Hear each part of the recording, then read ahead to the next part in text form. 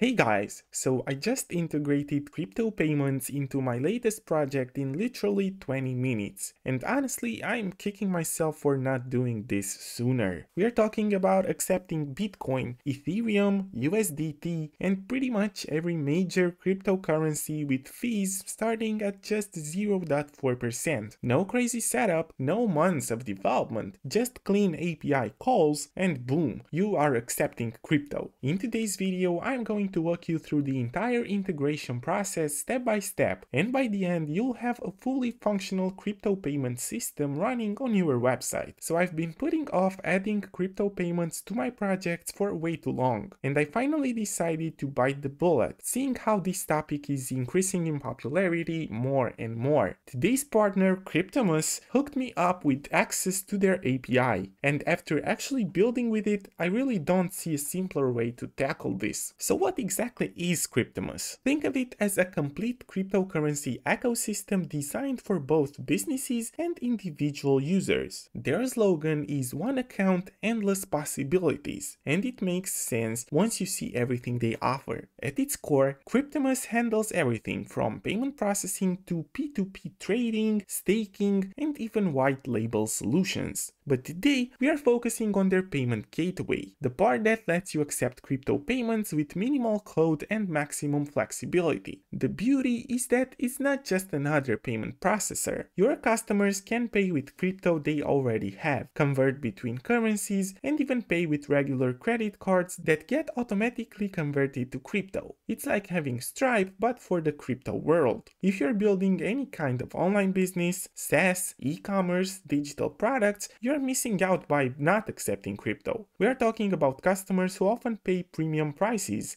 value privacy, and have significant purchasing power. Plus, no chargebacks, you get paid in 1 to 2 minutes, and international customers don't deal with currency conversion headaches. Alright, let's get our hands dirty. First head over to cryptomus.com and create an account. You can sign up with email, phone, or even through Telegram. You'll need to complete KYC verification, ID, proof of address, and self-verification. They approve this pretty quickly. After verification, create your merchant profile, where you'll set up your store name, payment preferences, and supported cryptocurrencies. You'll get your merchant ID and API key. Keep these secure. Cryptomus gives you three integration options, full API integration, SDK tools with pre-built code, or ready-made plugins for WooCommerce, WHMCS, and many more. We are going with the API approach for maximum flexibility. Let me show you how this works with Node.js.